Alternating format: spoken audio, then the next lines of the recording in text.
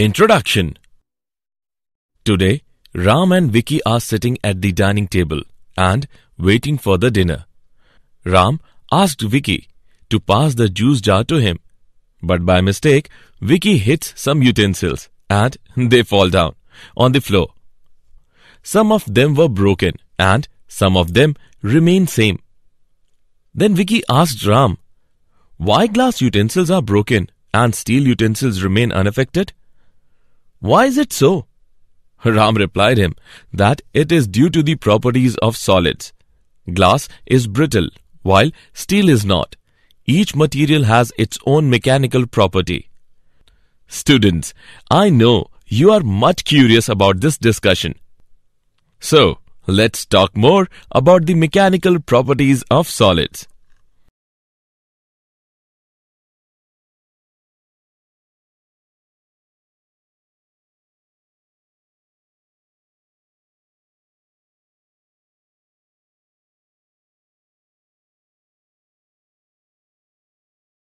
Objectives. At the end of this lesson, you will be able to Define solids. Know about elastic body and plastic body. Understand elastic behavior of solids. Define stress and strain. Define Hooke's law. Analyze stress-strain curve Calculate elastic moduli. Calculate Poisson's ratio. Know the applications of elastic behavior of materials.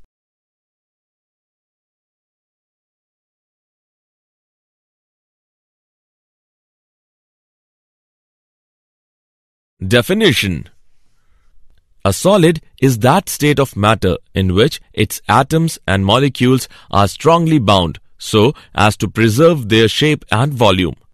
Solids can be classified into two classes. Number 1. Crystalline solids. These are the solids in which atoms or molecules are arranged in a regular pattern. Number 2. Amorphous solids. These are the solids in which atoms or molecules are arranged in an irregular pattern. These solids are also called glassy solids.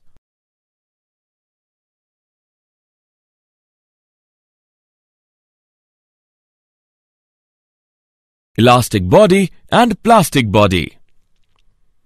A body that regains its original shape and size on the removal of deforming force within the elastic limit is called an elastic body. Elasticity is defined as the property of matter by virtue of which it regains its original shape and size after the removal of deforming force. A body that does not regain its original shape and size after the removal of deforming force is called a plastic body.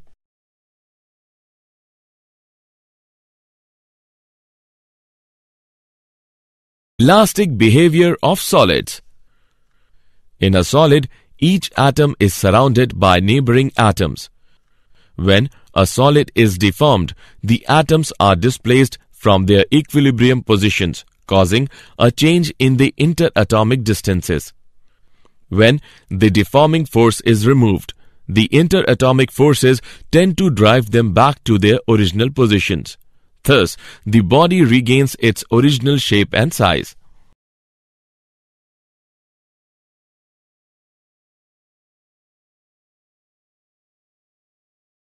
Stress Stress is defined as the restoring force per unit area set up in the body when deformed by an external force.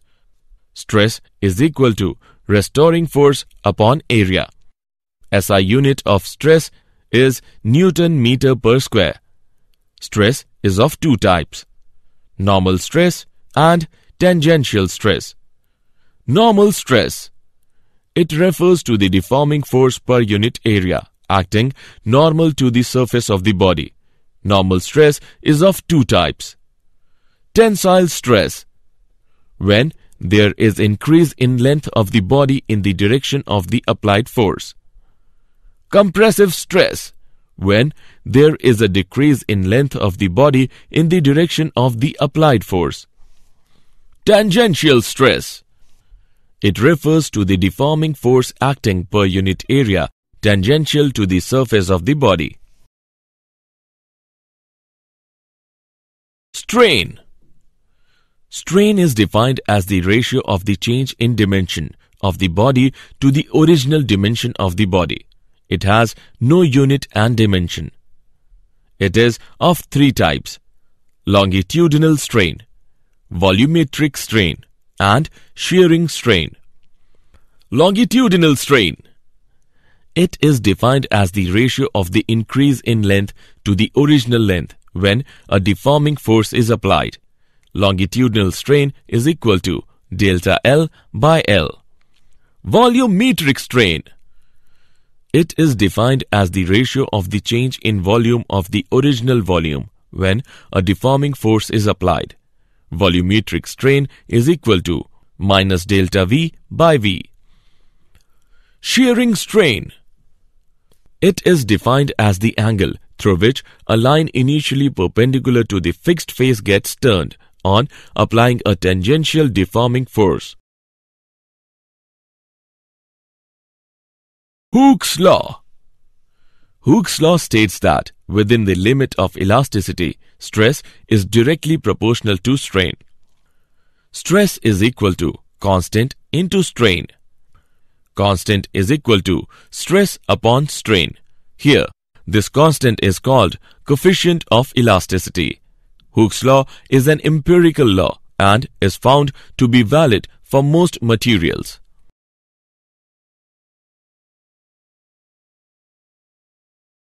Stress-strain curve Consider a wire suspended vertically. When the wire is loaded, a stress is developed. On loading, the wire increases in length and thus strain is developed. From the curve, we note that when the strain is small, stress is proportional to strain. This is the region OP in which Hooke's law is obeyed. The point P is called the limit of proportionality. In region PE, stress is not proportional to strain, but the wire still regains its original length when load on the wire is removed. Thus, the point E is called the elastic limit. The region from O to E represents the elastic behavior of the material of the wire. In region EA, strain increases much more rapidly than stress. In this region, the wire does not regain its original length, even when the stretching force is withdrawn. Beyond A, even a small increase in stress produces a very large increase in strain. Beyond point B, the strain keeps on increasing even if the stretching force is removed and the wire breaks at C. The region E to C shows the plastic behavior of the material of the wire. Elastic moduli The ratio of stress and strain is called modulus of elasticity. The modulus of elasticity are of three types. Young's modulus, shear modulus, and bulk modulus. Young modulus is defined as the ratio of normal stress to the longitudinal strain. It is represented by Y. Y is equal to normal stress upon longitudinal strain is equal to F into L divided by A into delta L, where F is equal to external normal force. Delta L is equal to change in length. L is equal to original length. The ratio of shearing stress to the corresponding shearing strain is called the shear modulus of the material and is represented by G. G is equal to F by A into theta. It is observed that the shear modulus is generally less than Young's modulus. Bulk modulus is defined as the ratio of normal stress to the volumetric strain and is represented by K. K is equal to normal stress upon volumetric strain. K is equal to F upon A divided by negative delta V upon V. The reciprocal of the bulk modulus is known as compressibility.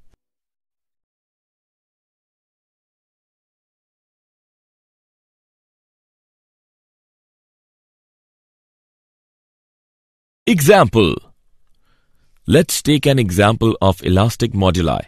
A rubber cube of side 7 cm has one side fixed with the tangential force equal to the weight of 200 kg is applied to the opposite face. Find the shearing strain produced and the distance through which the strained side moves. Given modulus of rigidity for rubber is 2 into 10 raised to the power 7 dyne per centimeter square. Let's see the solution. Given value R, L is equal to 7 centimeter and F is equal to 200 kgf. Converting the value of F into dynes, we get F is equal to 200 into 1000 into 981 dyne. Eta is given by 2 into 10 raised to the power 7 dyne per centimeter square. We know that area of the face of the cube A is equal to L square. Putting the values of L into above equation, we get A is equal to 7 into 7 centimeter square is equal to 49 centimeter square. We know that eta is equal to F upon A theta by putting respective values, we can calculate the value of theta, which is equal to 0.2 radian. Shearing strain is given by delta L upon L. Delta L is equal to 7 into 0.2 centimeter. After calculation, we get the value of delta L is equal to 1.4 centimeter. Poisson's ratio when we stretch a wire, it becomes longer but thinner. It means that the increase in length is always accompanied by a decrease in the cross section. The ratio of the lateral strain and the longitudinal strain is constant for a given material is known as the Poisson's ratio. V is equal to epsilon dash divided by epsilon. Here, V is the Poisson's ratio.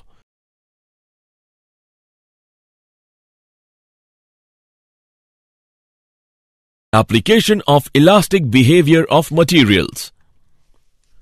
Some materials regain their original form long after the removal of the deforming force. This delay is called elastic after effect. Generally, suspension are made of quartz whose elastic after effect is very small.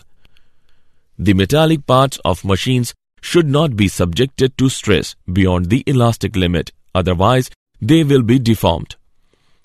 The railway track beam's cross section is I in shape. It gives an advantage of lightness and the flanges are able to withstand the compression and tension force due to loading. The thickness of the metallic rope needed to lift a given load is decided using the knowledge of elastic limit of the material of the rope and the factor of safety. While using a material it is ensured that the working stress is always larger than its breaking stress. The difference is the safety factor. Did you know? Maxwell was the first to define bulk modulus. According to recent studies, a class called semi-crystalline solid does exist. In this, both amorphous and crystalline phases coexist. Some polymers are in this category, for example, polyethylene. When a body is heated but not allowed to expand due to certain constraints, then internal forces are developed which give rise to stress known as thermal stress. Summary Let us summarize what we have learned. A solid is that state of matter in which its atoms and molecules are strongly bound so as to preserve their shape and volume. Elasticity is defined as the property of matter by virtue of which it regains its original shape and size after the removal of deforming force. Stress is defined as the restoring force per unit area set up in the body when deformed by an external force. Strain is defined as the ratio of the change in dimension of the body to the original dimension of the body. Hooke's law states that within the limit of elasticity, stress is directly proportional to strain.